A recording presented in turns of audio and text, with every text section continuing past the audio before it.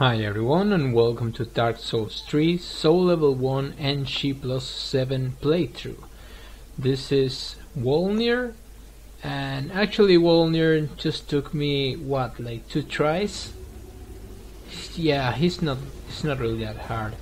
At the time that I was fighting Wolnir I was streaming so yeah. At at the end of uh, the fight with Wolnir I forgot to show my weapons, rings, and you know the six souls of Cinder because I was talking to someone on the stream, so I totally, I just just totally forgot, guys. But believe me when I when I say this is still NG plus seven, and I'm still solo one. So, but it's gonna go. I realized that I forgot, and, and in the next video, it's gonna come back. Uh, so Wolnir, yeah, just hit the bracelets. You can also hit the hands, and uh, it will destroy the bracelets.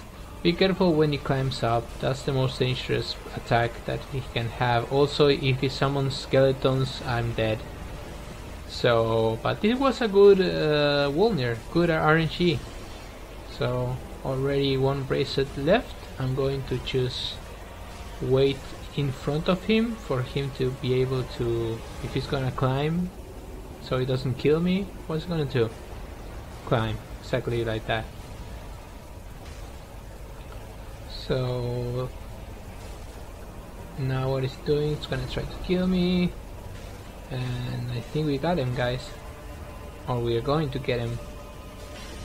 Yep there we go. There goes Wolnir NG plus 7 solo 1 this guy is not hard at all guys so no problem.